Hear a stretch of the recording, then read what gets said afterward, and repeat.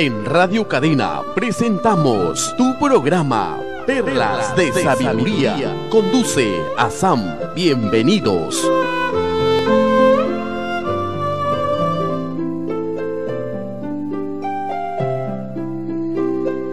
Hola amigos, eh, un gusto estar con ustedes en su programa Perlas de Sabiduría. En verdad, la misma palabra nada más de sabiduría da mucha, mucho aliento a uno, que uno, bueno, le despierta esa, esas ganas de aprender y ser más sabio.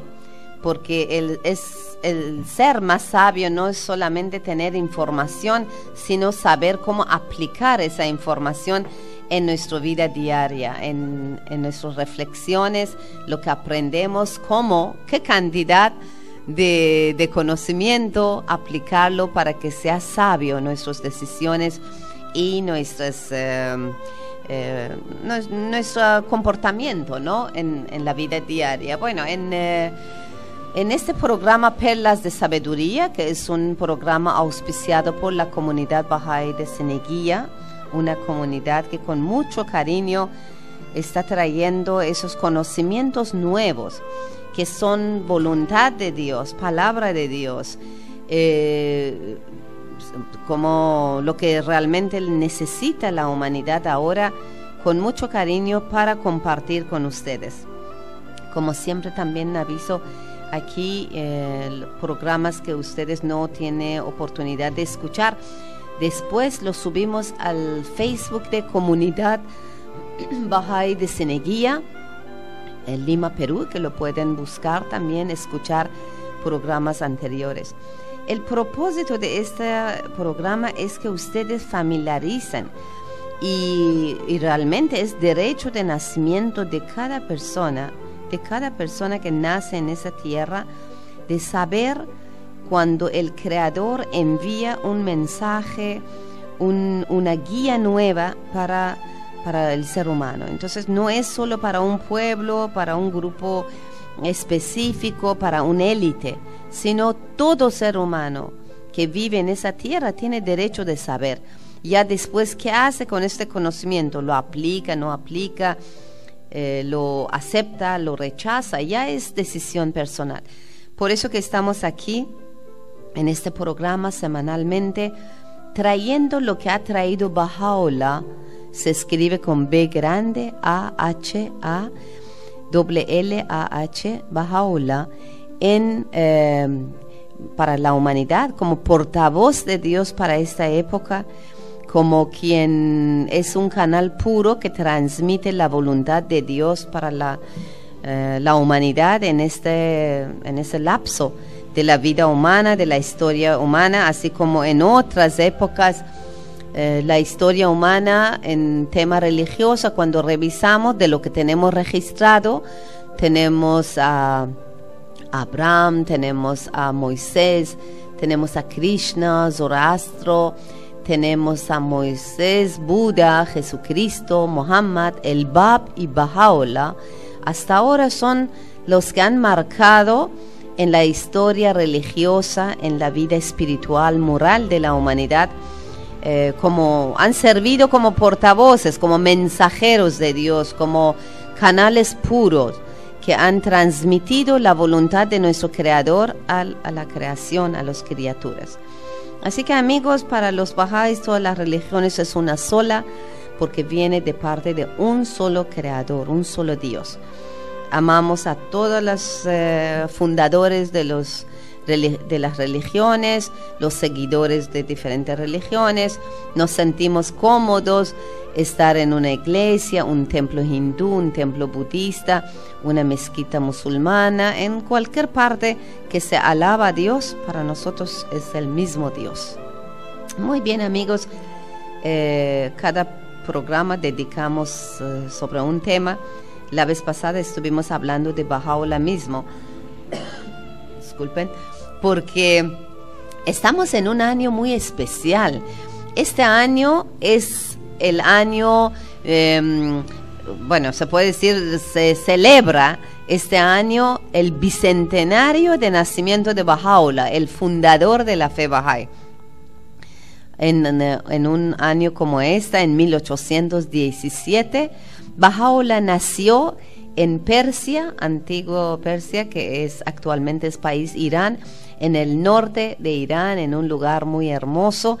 Nació en una familia de nobleza, porque su padre era primer ministro del corte de Shah, de rey de Irán, en esa época, pero Bahá'u'lláh no le interesaba todo lo que tenía que ver con política y poderes terrenales, sino él, Dios la había escogido para otra tarea, otra misión, que es traer ese mensaje de paz y unidad para la raza humana.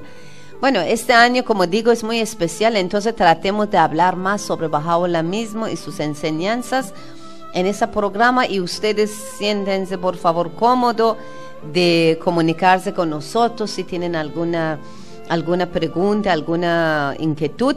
Y de hecho que vamos a tener una celebración hermosa este año y todos desde ahora están invitados para mes de octubre. Vamos a ir repitiendo la invitación eh, bueno, con mucho cariño, con mucho, mucho amor para que todos ustedes que nos escuchan puedan participar en esa gran celebración en mes de octubre. Muy bien, eh, aquí está en cabina conmigo mi amigo y miembro de la comunidad Bahá'í de Seneguía, el ingeniero Alberto Garrido. Como siempre es un gusto cuando él me acompaña. Este, bienvenido Alberto. ¿Qué tal? Buenos días, buenos días amigos. es, un, gusto siempre estar acá con todos ustedes. Qué bueno. Y más este en un año tan especial, ¿no? Tan especial. Son 200 años del nacimiento de Bajaola, quien, em, de acuerdo a las enseñanzas bajáis, es el portador del mensaje de Dios para esta época.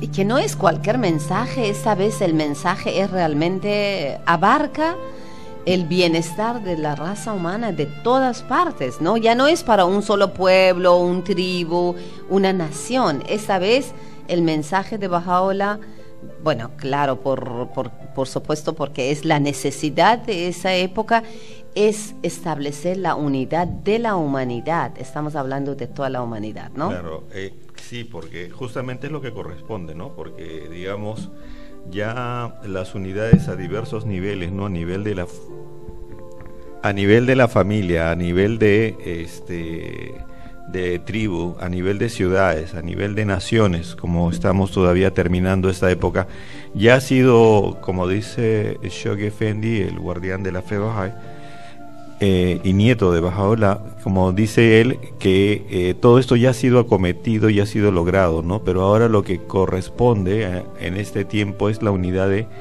la humanidad todo y todo el mundo como un solo país.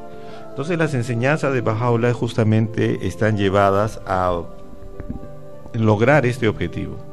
Y para poder lograr este objetivo, Bajaola trae una serie de enseñanzas y cosas que ahora inclusive ya las estamos viendo como normales, como habíamos comentado en el programa anterior, en el cual eh, cuando por ejemplo Bajaola hablaba de igualdad del hombre y la mujer, estamos hablando de 1860 aproximadamente. Nadie pues, hablaba de nadie ese hablaba tema. de ese tema, ¿no? Y ni en los medios políticos ni en los medios religiosos, ¿no?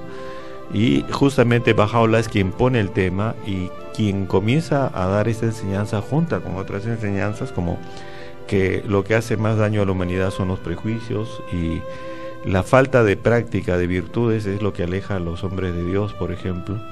Entonces todo este tipo de cosas y muchas más eh, son justamente las que han ido formando y modelando lo que actualmente ya la humanidad sigue pensando y lo que sigue proyectando la humanidad, ¿no?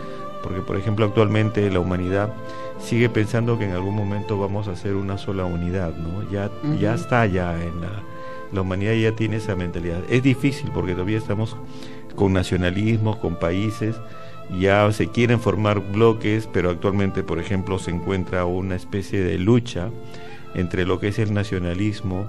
Hay una resistencia. Y, la mundialización, sí, como que hay un, como que el ser humano se aferra a lo antiguo, ¿no? Sí.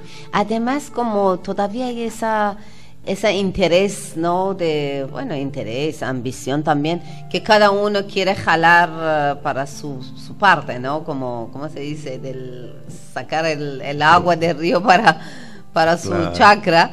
Así que, bueno, no, eso no nos lleva a ningún, ninguna unidad. Tenemos que pensar que todos somos como una sola familia.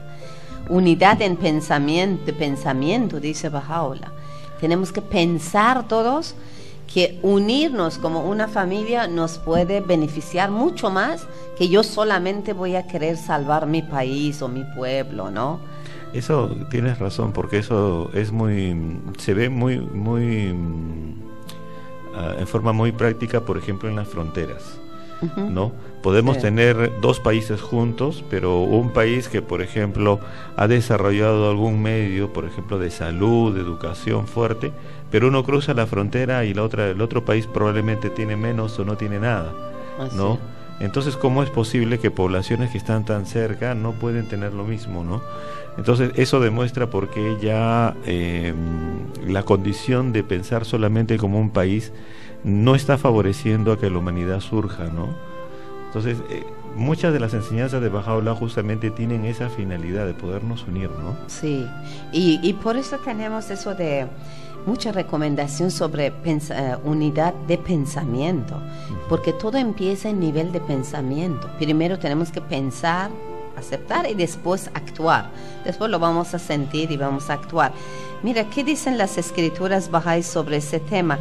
Dice, es necesario enfocar el pensamiento en un único punto para que, para que llegue a ser una fuerza efectiva. Y dice, si la armonía de pensamiento y la más absoluta unidad no, no existirán, esa reunión, esas reuniones que escuchábamos, que los líderes, eh, autoridades del mundo se juntan, esa reunión sería dispersada y dicha asamblea quedaría reducida a nada, ¿no? Porque realmente eso de tener cumbres de la tierra y esas grandes reuniones, si nos juntamos, pero al final nuestro pensamiento no es unida, no, no es, eh, no vamos hacia el mismo punto, el propósito no es igual, sería una pérdida de tiempo y, de gasto también, ¿no? En nivel mundial hablando. Y eso se está notando, ¿no? Porque, por ejemplo, uno de los problemas que tiene la unidad europea es que no hay una, unidad de pensamiento, ¿no? Si bien tienen un objetivo de unirse, de progresar juntos, pero sin embargo las dificultades, están viendo todas las dificultades que ha tenido la comunidad europea es porque hay eh, miembros de la comunidad que no se unen al pensamiento común. ¿no? Por ejemplo, los problemas económicos que ellos han tenido justamente se debe a que ellos no han podido, digamos, ser sinceros, por ejemplo, en cuanto a sus necesidades y la resolución de sus necesidades. Entonces, esa unidad de pensamiento que aparentemente había, se vio frustrada por una falta, por ejemplo, de una práctica de virtud, que es la veracidad. Así es, honestidad. Mira, ¿qué dicen las escrituras bajas justamente de, sobre esa unidad de pensamiento? Dice Abdul Baha, limita tus pensamientos a todo cuanto eleva al alma humana hacia el paraíso de gracia celestial y haga que toda ave del reino vuela, vuele, perdón, vuele hacia el supremo horizonte el punto central del honor sempiterno en este mundo contingente. Realmente tenemos que todos como aferrarnos a la voluntad de Dios, que en esta época es unidad de la raza humana, de pensar que todos somos miembros de una sola, familia y en una familia uno no cada uno busca sus intereses, sino busca el interés de la familia, ¿no? Sí, el otro día eh, em, leí algo muy bonito, ¿no? Decía, ¿cómo sabemos que estamos haciendo la voluntad de Dios, ¿no? Ah, qué bueno. Buena pregunta, ¿no? Y, era justamente, me llamó mucho la atención y la verdad es que uno siente que está haciendo la voluntad de Dios en la medida de que genera bienestar para los demás, a nuestro entorno, a, nuestra familia. Menos yo y más nosotros. Eh, sí, y no, porque en realidad el yo se, el yo, claro, uno tiene su propia individualidad, pero si uno piensa individualmente como uno mismo, no le interesa a los demás, ¿no? Pero sin embargo vivimos en una sociedad dentro de una familia y lo que decía ahí era que decir eh, que uno hace lo que, lo que Dios quiere, lo que Dios desea, justamente es generar unidad, mm. generar bienestar que haya tranquilidad en la familia, no que haya seguridad, bueno, obviamente se necesita una seguridad económica, pero también se necesita también una tranquilidad espiritual y eso es cuando uno actúa correctamente, ¿no? Claro. Entonces, es, eh, resumía que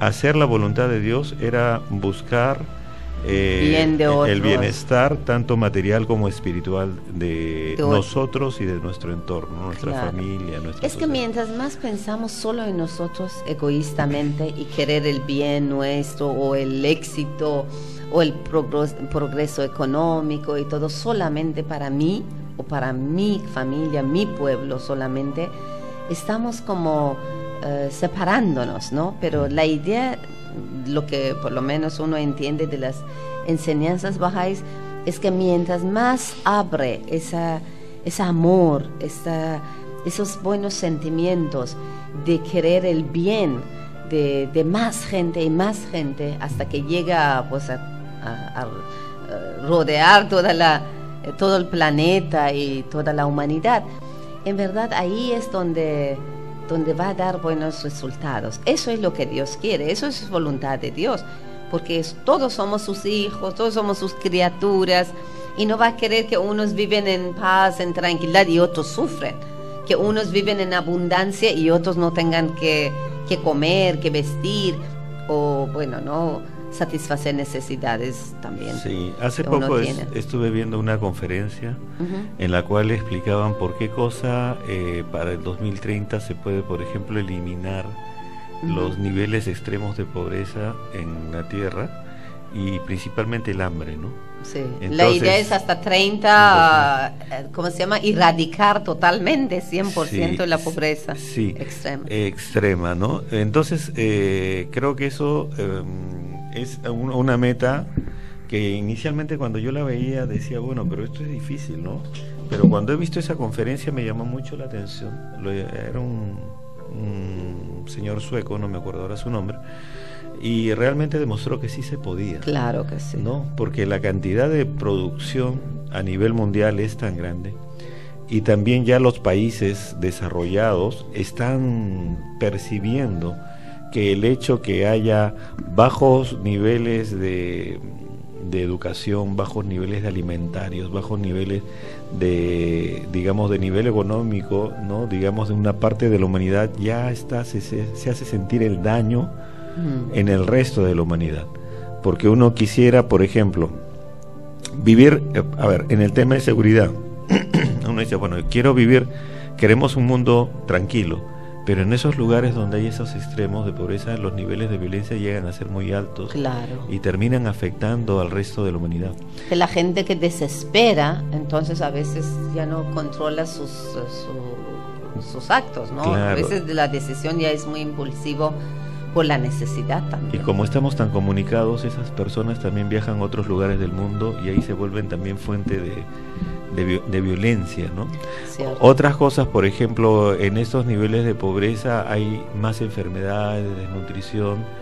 Entonces sucede de que eh, estas enfermedades luego la Organización Mundial de la Salud, la humanidad misma, tiene que eh, luchar contra nuevas enfermedades, nuevas, ¿no? Y estas personas que están malnutridas inclusive Muchas escapan de sus países para poder ir y generar otro nivel de vida, pero llegan con bajo nivel nutritivo, un bajo nivel de preparación. Eh, no sé, es difícil capacitarla. Entonces ya también comienza a sentirse esa, esa mm, falencia en la humanidad, ¿no? ese punto débil en la humanidad. Entonces ya no ya estamos llegando a un punto en que hay que mejorar la situación, hay que hay que responder ante ello y y sin embargo en otras partes del mundo los niveles de producción de alimentos es tan alta, ¿no? Y no se abastece a estos lugares. Entonces, en general hay tantos argumentos que presentó este señor en la conferencia Sam que me llamó mucho la atención. Qué bien. Y realmente demostraba que sí, para el 2030 se puede. Ese tema se puede. Se puede siempre cuando hay voluntad, voluntad política, voluntad humanitaria, ¿no? Y educativa debe ver esa voluntad, porque de, de producción la tierra tiene, está produciendo más de lo que necesitamos, ¿no? Pero la distribución no es justa, la distribución de la riqueza realmente obvio, todos conocemos, está acumulado en manos de muy pocas personas mientras la mayoría está viviendo en miseria, ¿no? Entonces, nosotros como personas comunes podemos tomar dos decisiones, ¿no? Una es dudar del tema y decir, no, no se va a lograr, es muy difícil, no poner cualquier o pretexto en eso. O la otra es como persona como tener esa unidad de visión que justamente dice Bajaola, aunarnos esa unidad de visión y decir sí, se tiene que lograr. Se tiene que lograr, claro. Entonces, Porque no hay, no puede ir hacia como esa decadencia cada vez más, ya, ya estaremos llegando a un punto que va a ser insoportable. Hay que buscar la solución. Entonces, eso de que se tiene que lograr, es bueno tomar esa actitud porque nos, cada en cada uno de los países hay bolsones de pobreza muy grandes, ¿no? Ni las potencias se salvan de ellos, ellos también tienen, lo que pasa es que el turismo lo ocultan, ¿no? Mm. Pero ellos también tienen bolsas de pobreza, en todo el mundo hay bolsas de pobreza. Y si como sociedad cambiamos y nos decimos, sí, podemos cambiar, ¿no? Hay que apoyar los programas sociales que se hacen, los programas educativos, los programas de salud, ¿no? Entonces, ese cambio de visión ¿no? aunarnos esa visión única de que se puede superar y que se puede hacer, ¿no? con ese término sí se puede, ¿no? Eh, estamos seguros que sí lo vamos a lograr. ¿no? Pero para eso justamente, Alberto, lo que estás diciendo, necesitamos esa unidad de pensamiento. Todos debemos pensar igual. ¿No? que, que sí se puede y que debemos hacerlo, que es responsabilidad de todos tomar medidas, ¿no? A cada uno, claro, de, de acuerdo de sus posibilidades. Y te das cuenta, Alberto, y bueno, seguramente nuestros radio oyentes, si comparamos lo que estamos diciendo con las conversaciones que tenemos, por ejemplo, bueno, hablando en Perú en el Congreso o en nivel de, de autoridades en cualquier otro país, no se está tomando este tema como principal tarea de pensar esa unidad de pensamiento, de erradicar problemas, ¿no? Problemas que está dentro de las posibilidades de la humanidad de erradicar. Más bien se desperdicia el tiempo en discusiones, en, en conflictos a veces que no es beneficioso para, para la mayoría, sino para posiblemente para una minoría de, la, de las personas puede ser eh, beneficioso. ¿no? Entonces la idea de unidad de pensamiento es que nosotros tenemos que diagnosticar los problemas reales de la humanidad, disculpen, y, ver las posibilidades de solución, unir fuerzas y empezar a ponerlo en, en acción, ¿no?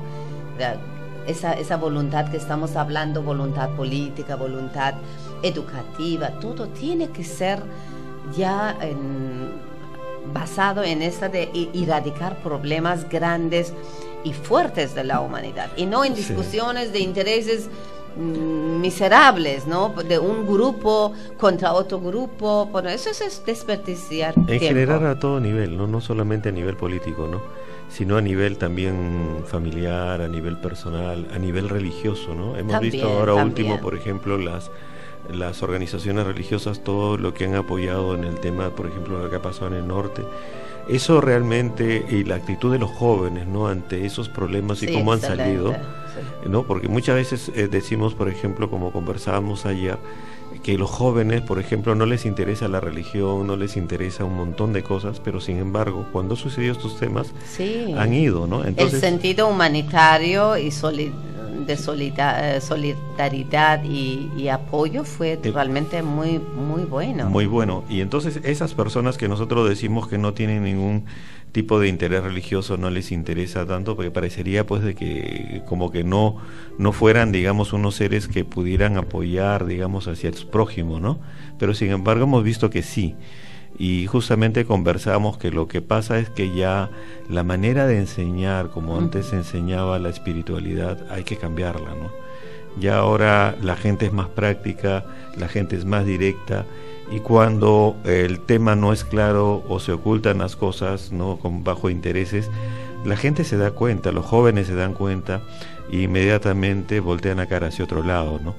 Pero la manera de practicarlo, esto siempre ya va cambiando, ¿no? Ahora es más social. como aquí hemos hablado en este programa muchas veces que la religiosidad se ha reducido en rituales, ¿no? Rituales y, cosas que, bueno, ya un poco eh, como la gente joven quiere saber por qué, ¿no? ¿Por qué debe hacer tal ritual? ¿Qué cambia en su vida ese ritual?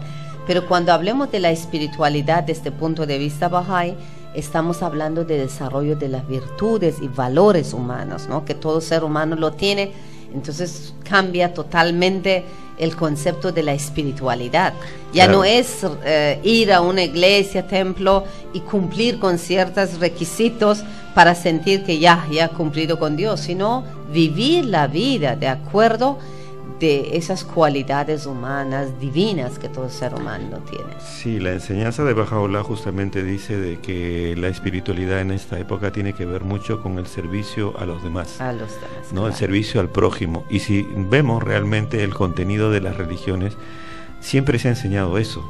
¿No? Lo que pasa es que antes se tomaba pues a diversos niveles, ¿no? Nivel familiar, de tribu, de ciudad, de nación, y pensaba uno que solamente tenía que servir a su nación y no a toda la humanidad. Ahora la enseñanza de Bajaola es el servicio al prójimo, ya el prójimo es toda la, humanidad. toda la humanidad. Entonces las generaciones de jóvenes que, se que hay ahora, ellos tienen en la práctica, porque son gente de esta época, tienen eso, ¿no? De dar y servir a los demás, ¿no? Como para un bien común. Y en verdad están bien, están muy bien, ¿no? Están en lo correcto. Están en lo correcto, perfecto. Bueno, en radio entramos en un espacio comercial, pero quédanse con nosotros amigos porque volvemos con más sobre ese tema de, de, la humanidad y unidad de pensamientos y las enseñanzas y novedades que trae la fe Bahá'í para solución de esos conflictos. Ya volvemos amigos.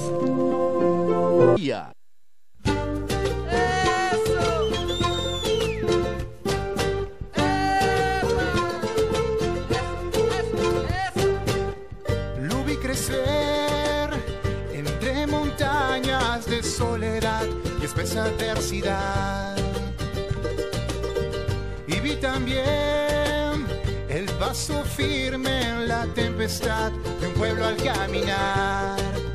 Y remeció las aguas quietas con su soplo despertó el corazón de mi pueblo. Encantemos al viento con los aires de unidad las melodías de alegría y hermandad. Únete al rugido de los tambores al pasar. Esa luz a los pueblos.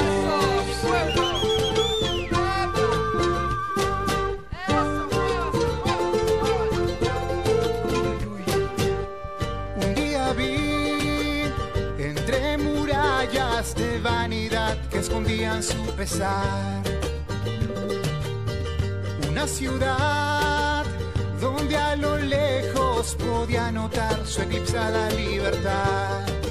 Se levantó ese destello radiante que unificó el corazón de los pueblos. Encantemos al viento con los aires de unidad, las melodías de alegría y hermandad rugido de los tambores al pasar. Esta luz a los pueblos. ¡Baila mi pueblo! ¡Eso! ¡Eso!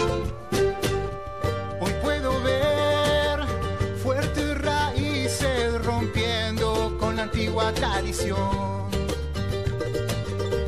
Puedo sentir dulces frutos del árbol de esta gran generación. Se remeció, las aguas quietas con su soplo despertó el corazón de la tierra. Encantemos al viento con los aires de unidad,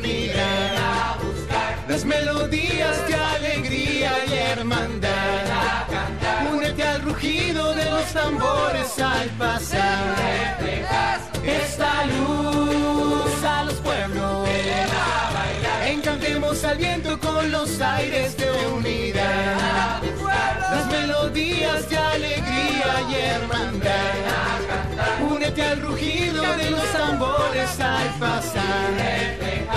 Esa luz a la tierra.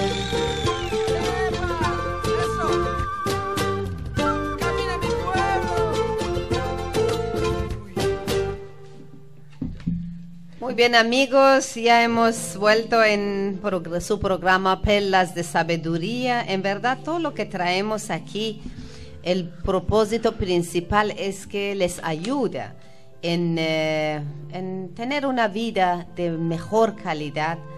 Todos creo que nos interesa eso, ¿no? De ver cómo podemos vivir mejor nuestras vidas eh, porque no estamos aquí, la vida no es de una ida y salida, ¿no? Entrar aquí y salir, sino dejar buenas huellas, disfrutarlo sanamente, de hecho, sanamente, pero también eh, dejar un mundo mejor para las generaciones venideras.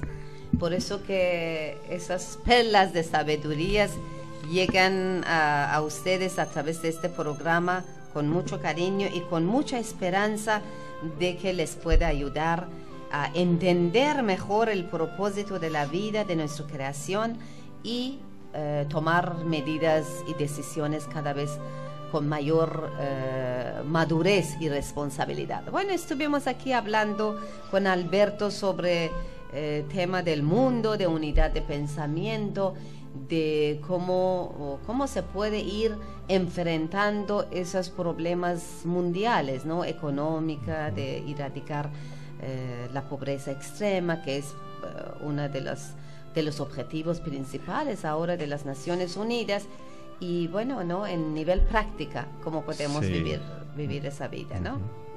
Sí, y una de las cosas que vemos que está presente no solamente en la fe bahá'í, sino en todas las religiones, es justamente eh, esa inclinación hacia la verdad. ¿no? Entonces, hay un principio en la fe bahá'í que es la, libre investigación de la verdad.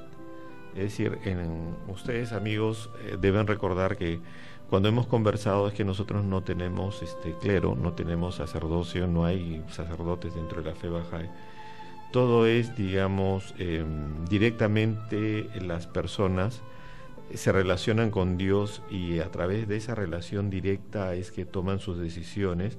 Para eso cada persona tiene la capacidad de poder eh, coger los libros sagrados, estudiarlos, encontrar las verdades, inclusive poderlas compartir y ponerlas en práctica, pero en la religión, tal cual eh, nos enseña Bajaola, es una relación directa entre cada uno y su creador. Entonces, en ese sentido, la libre investigación de la verdad es la que nos lleva a buscar justamente ese entendimiento, esas verdades, no solamente a nivel espiritual, sino también a nivel material. Para eso también tenemos la ciencia, que es otra de las herramientas para poder eh, encontrar la realidad de las cosas. Y es a partir de estas herramientas que nosotros podemos tomar decisiones, guiar nuestra vida, tanto en el nivel espiritual como a nivel material. Y lo bueno que también nos aclara Abdul Baha en este caso, es que nos dice que la importancia de la espiritualidad, ¿no? Y que la importancia también de lo material, ¿no? Lo espiritual es importante en temas espirituales y lo material tenemos que aprenderlo porque es lo que nos mejora las condiciones de vida pero también nos indica que cuando lo espiritual deja de lado el conocimiento material, llega a convertirse en un fanatismo, ¿no? O sea, porque llega a haber un momento en que las personas van a hacer las cosas y no saben por qué las hacen ni para qué se hace, ¿no? Pero también si es que la ciencia, ¿no? Nos volvemos materialistas y dejamos de lado eh, lo espiritual, entonces nos podemos volver dañinos, nos podemos hacer solamente vivir a partir de eh, intereses particulares de cada uno, de su familia o de un grupo de personas. Entonces en ese momento al dejar de lado lo espiritual, que es lo que trae la concepción y la enseñanza de la importancia de que todo debe ser beneficioso para toda la humanidad, ¿no? Es que realmente no se puede separar o dividir el ser humano en material y espiritual, ¿no? Somos todo. ¿no? El ser humano tiene su parte física, material y tiene su parte también humana, ¿no? espiritual, que reflejamos esas cualidades divinas en nosotros. Es, es inseparable, ¿no? Claro. Si dividimos estamos en gran error, como tú dices, podemos ser en extremo materialista o en ex- extremo fanatismo, ¿no? Sí. no- perder la armonía, el equilibrio del ser humano. Entonces justamente Bajaola nos dice que lo importante que es la moderación, ¿no? Sí, moderación, es cierto. O sea, porque vemos que todas las cosas no son al extremo mayor ni al extremo menor, sino hay un lo que comúnmente se conoce como el justo medio Así es. que hace que las cosas funcionen, ¿no? Incluso en la edu- ed- educación Bahá'í, cuando hablamos de temas de educación, estamos hablando de una educación integral que abarca el conocimiento y ¿no? las herramientas que necesita el ser humano para desarrollar sus capacidades intelectuales, materiales y también espirituales divinas, ¿no? Entonces, realmente educación debe ser así y no, no separarlo, ¿no? He escuchado, por ejemplo, mucha gente dice, cuando nosotros, la, la comunidad Bahá'í, invita que envían sus hijos para que reciban esa educación espiritual en temas de valores espirituales y virtudes, dicen, no, cuando mis hijos son grandes, porque todavía son chiquitos y no quiero que aprenden de religión. Es, ¿no? Como solamente ahora tienen que desarrollar sus capacidades intelectuales y cuando van a aprender de ser veraces, honestos, amables, eh, solidarios, ¿cuán- ¿dónde van a aprender de cortesía, de perdón, de misericordia, de compasión? ¿Cuándo? No, no puedes separar la vida de esos dos aspectos tan importantes, que es material espiritual. Eso es, eh, como dices, si se pierde ese equilibrio, esa armonía, el ser humano siempre va a sentir infeliz, infeliz. Esa es la palabra. Claro, y desde niños hay que enseñarles a ser equilibrados, ¿no? Y Así cuando hablamos equilibrados, desde el punto de vista Bahá'í es tanto espiritual como materialmente. Es, Las dos cosas deben estar Ujú. presentes, ¿no? Cierto. Y cuando hablamos nosotros de espiritualidad, hablamos no de dogmas, porque la fe Bahá'í no tiene dogmas, no, Ni rituales. no hablamos de ritos, porque en la fe Bahá'í no hay ritos. Nuestra, nuestro encuentro es directamente con, Con nuestro Dios. Creador. Entonces, este, más bien, la, cuando hablamos de espiritualidad, nosotros estamos hablando principalmente de la práctica de virtudes, ¿no? Así es. Ser un ser humano íntegro, Claro. un ser humano que eh, no solamente tiene conocimientos este, científicos, sino que tiene un corazón puro, tiene un corazón amoroso, sensible. Eso es lo que, lo que buscamos, ¿no?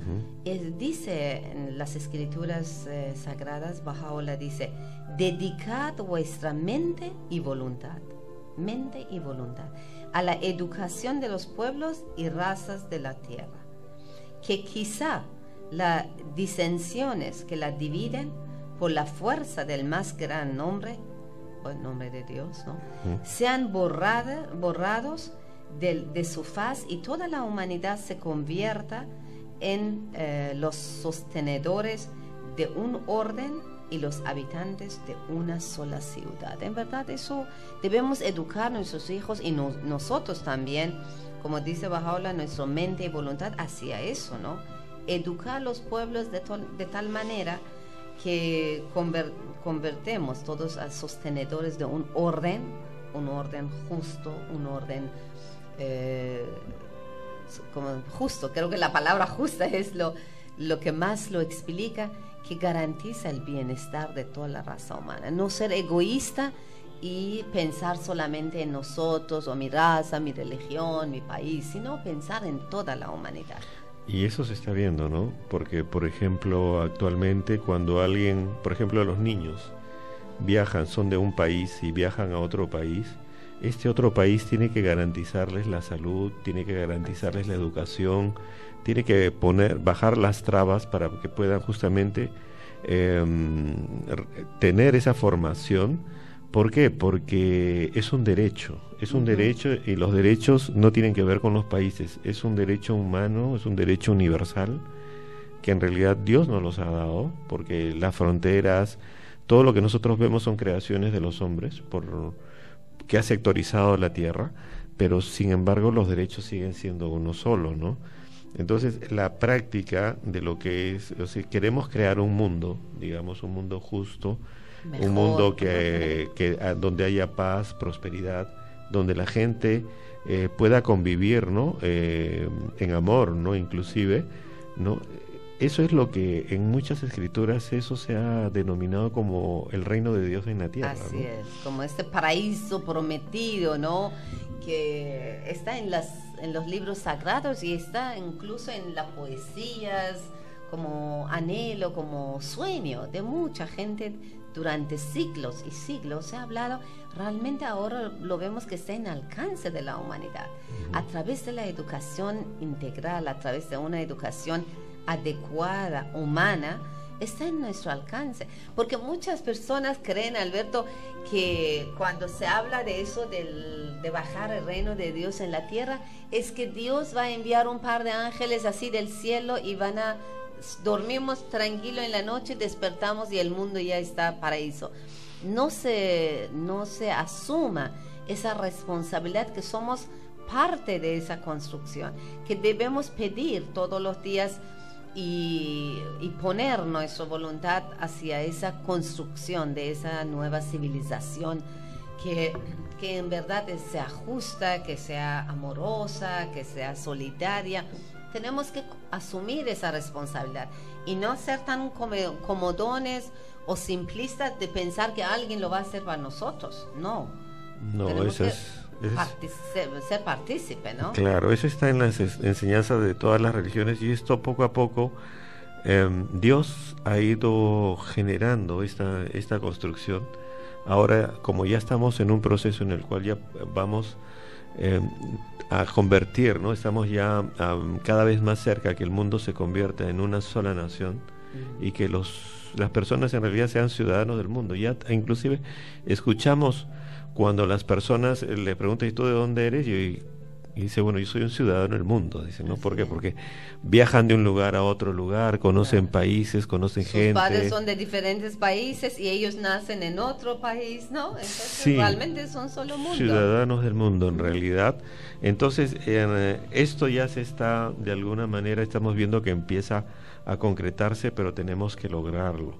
De tal manera que nuestros hijos, nadie está, eh, digamos, exento de que en algún momento uno de nuestros hijos o uno de nuestros familiares viaje a otro lado del mundo y quisiéramos que sean recibidos como nosotros los es, recibimos, ¿no?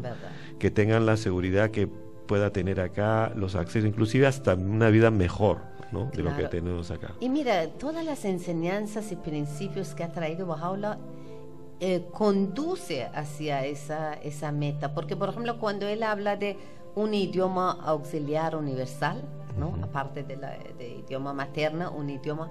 Cuando uno viaja a otros países, el primer obstáculo, si no sabes, si vas a China y no sabes chino, si vas a Japón no sabes japonés, si vas a eh, no, Arabia y no sabes su idioma, entonces el primer obstáculo es idioma. Y mira, Bajaola sabiamente, bueno, mm, Dios sabiamente a través de Bajaola nos ha enviado todas esas herramientas que ahora la humanidad necesita para unirse. Eh, ¿no? Él habla, por ejemplo, de un sistema de educación universal. Si tú aquí estudias en, en un colegio y que te muden tus padres por algún trabajo a otro lado del mundo, pero va a ser un solo idioma, una sola sistema educativo, entonces eh, realmente acerca, ¿no? Acerca y enchica esa tierra. Sí. Y lo estamos viendo, ¿no? En la práctica lo estamos viendo porque, por ejemplo, ya los sistemas educativos se están homologando a nivel mundial, ¿no? Ya cuando uno, uno cambia de un país a otro y hace todavía ahí, digamos, este, la equivalencia de los cursos y todo, pero cada vez se van homologando más. O cuando, digamos, este, alguien viaja y encuentra, digamos, otros sistemas de salud y todos hablamos, hablan de las mismas formas de tratamientos de enfermedades, de, de cosas que hay.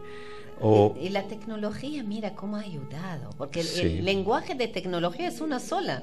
Cuando Claro. tú manejas eh, una computadora o tú manejas instrumentos como estás mencionando de salud, un oftalmólogo, un pediatra, los mismos instrumentos que utilizan, en verdad es el mismo lenguaje, ¿no? sí, Ese es aporte de la tecnología. Y, y vemos ahí cómo es que también han cambiado los tiempos. Si hablamos de hace 200 años cuando nació Bajaola, encontramos que cuando las personas viajaban de un país a otro comentaban lo diferente que eran los otros países, inclusive hasta en la forma de justicia, en la forma de manejo del gobierno, ¿no? Había tantas diferencias, pero actualmente no, ahora todo el mundo viste jean, por Cierto. ejemplo. Sí, ¿no? cierto. ¿no?